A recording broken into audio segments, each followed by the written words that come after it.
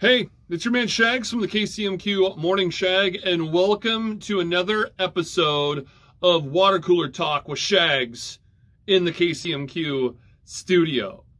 I want to talk to you about Culligan of Mid Missouri. Now, just because your water is clear doesn't mean it is. Just because your water is clear doesn't mean it's good or good for you. And that's why I can't stress enough the Culligan of Mid Missouri free, again, absolutely free in-home water test. I didn't know how rough my water was until they came by, did the test for me, and then gave me like a book report. They gave me a big old printout of all the stuff that was in my water. And I can tell you right now, water shouldn't look like uh, an SAT test. It shouldn't have a bunch of things that you can't pronounce or you don't know what it what it is.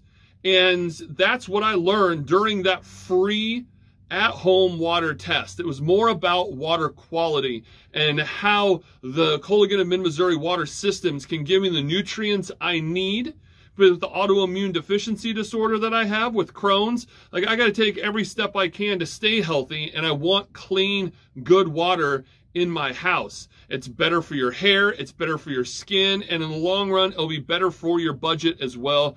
I can't tell you how, I can't tell you enough how much I enjoy having Culligan in my home. And just do the water test. It's absolutely free. If anything, you'll get an amazing education out of what water you're drinking, if it's good, if it's bad, if it's in the middle, they'll fill you all in. So what are you waiting for? Set your appointment now for that free at-home water test at CulliganMidMissouri.com.